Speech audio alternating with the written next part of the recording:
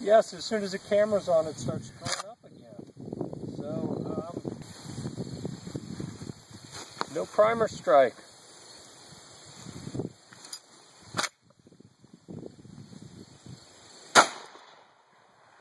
All right, this is bizarre. Seriously.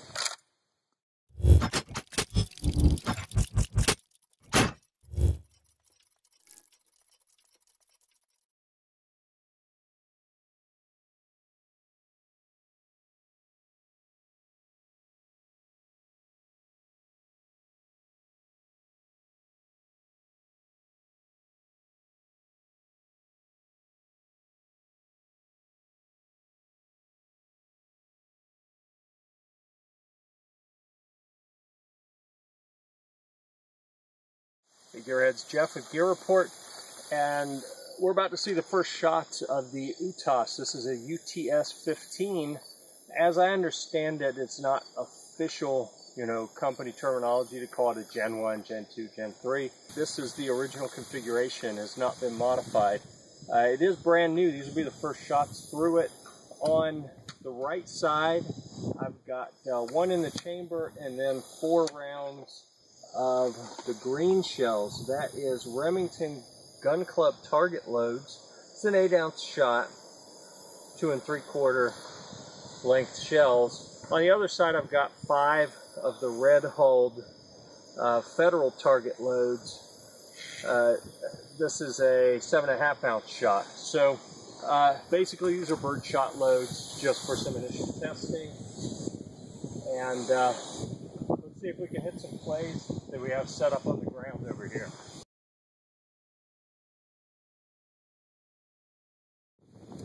I did chamber, didn't I? All right, it's not all the way into the battery here.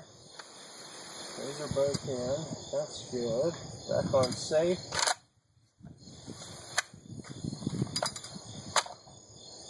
All right, another good sign. See if this one will go in.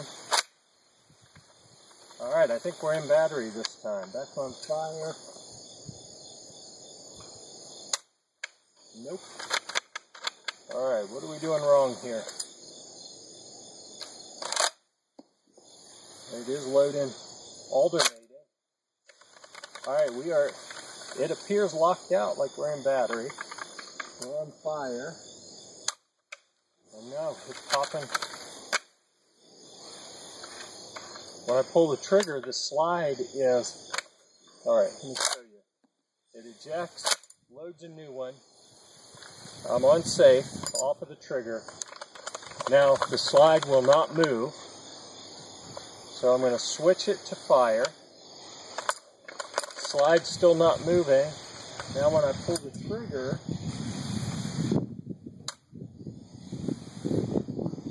like I, if, if I get fires, it releases the slide so I can cycle it. Alright, safe. None of these have primer strikes. Not a good sign, folks.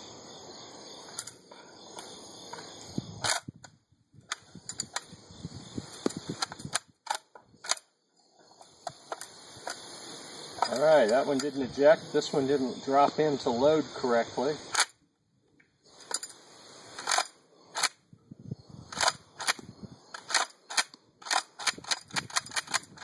All right, so we're empty.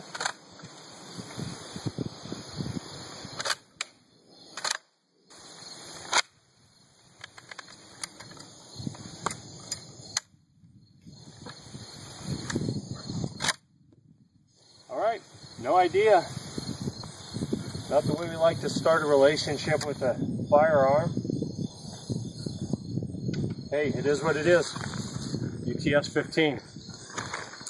Gearheads, I gotta tell you, I'm confused. Uh, this UTS 15 has got me dumbfounded. We came out and put 10 rounds in it. Put, uh, you know, the green shells in one side, the red shells in the other. It's, uh, you know, Remington and Federal birdshot. Uh, just so we could alternate them, make sure that the alternating mag uh, function worked well. Loaded them up, cycled them through. I wasn't even getting primer strikes on them. You know, I pulled the trigger, it click, it unlocked the slide so I could rack it, put a new round in, eject the old one. But they weren't even getting primer strikes. We were actually wondering, is there even a firing pin in here? Um, really, really bizarre. But uh, we are just playing with it here, trying to figure out, okay, what's going on? And I threw a round in, pulled the trigger, nothing. Put it in again, pull the trigger, boom. Wait a second, what happened? It's working now? I don't know what's going on, but we got a few more rounds here. What is this? Uh, three in that side, four in the other. So let's uh, let's see what this does now. Oh, that's a spent one. Good. So now we're chambered. Feels good. We're on fire. See how she fires. Ah, yes, as soon as the camera's on, it starts going up again. So, um, no primer strike.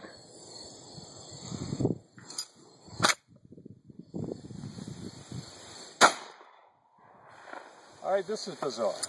Seriously. So now we got a green one again. And it works.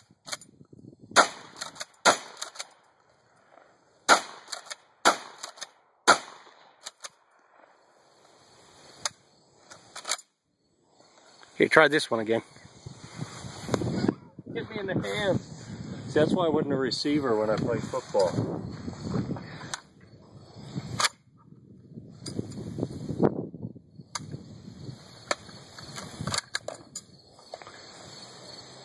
All right, now it's got a light strike on that one.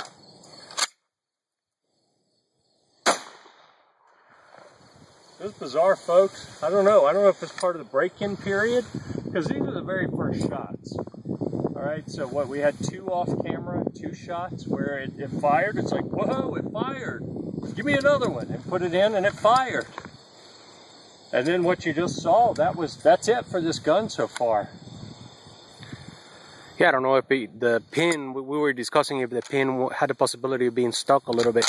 Um, the ejection and the alternate uh, alternate um, magazine feed is working properly, um, but that uh, misfiring issue uh, it's troubling. When it fired, uh, and, and, we'll compare this to the Bullpup Unlimited with the Mossberg 500 that we have been, you know, we we, we tried to shoot this, it didn't work, went and got the, the Bullpup Unlimited.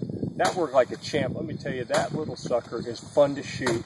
And with a big recoil pad on the back, a big soft recoil pad, it, it doesn't feel bad. I, I like it. I'm gonna, we're going to shoot that one some more today. So then pick this up just to try to troubleshoot and got it to shoot a little bit. And I got to tell you, I don't know if you noticed, the first few shots I wasn't really seating it that well, and it was jerking into me some that was a little unpleasant. This has got a more, uh, I don't know, more violent kick. Is that a good way to put it? Uh, than the Bullpup Unlimited with that nice fat Remington pad on the back of the Bullpup Unlimited. It just kind of eases in there real nice. This has more abrupt of a kick to it, so maybe it just needs to be broken in. Maybe it needs some lube.